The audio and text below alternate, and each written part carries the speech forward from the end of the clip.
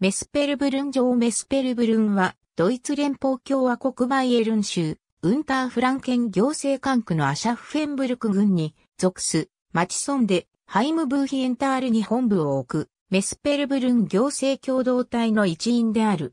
この町は、シュペッサルト山地の中央、エルザファー川の谷の上流部に位置している。町内を、修道2308号線が通っている。メスペルブルンは、二管区、三地区で構成されている。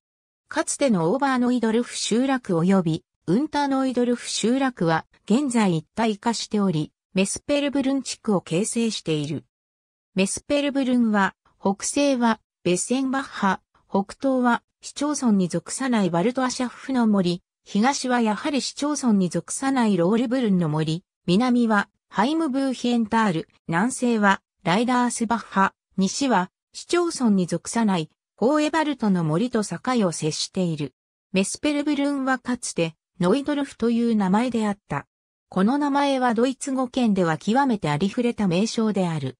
中高ドイツ語で、新しいを意味する、ニーウェイと村を意味する、豆腐が結合したものである。これは、オーバーノイドルフとウンターノイドルフとに分割された。1938年にこの町は全国的に有名な水木メスペルブルン城の名を町名に採用した。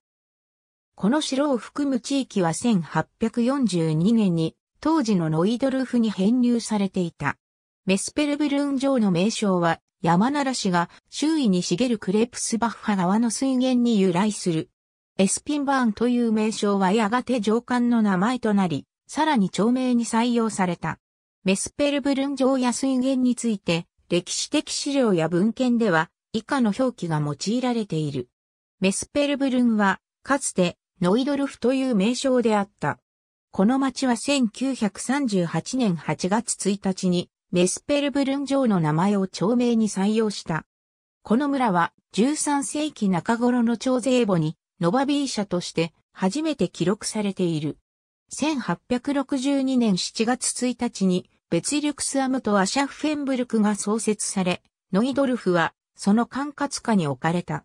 1939年にドイツ国全土で軍の故障が用いられることとなった。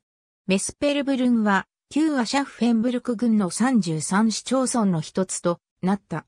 この軍は1972年7月1日にアルゼナウィン・ウンターフランケン軍と合併し、新たなアシャフフェンブルク軍が発足した。この町は、1972年7月1日に、旧ヘッセンタールとメスペルブルンが合併して成立した。メスペルブルンの町議会は14議席からなる。これは、人口2001人から3000人の自治体に対する議員定数である。町議会議員は6年ごとに改選される。議会ではこの他に、町長が投票権を有している。メスペルブルンの町長はシュテファニー・フックスである。彼女は2018年2月25日の選挙で町長に選出された。図柄、赤字に銀色のメスペルブルン城の城門。上部に青い小立が配されている。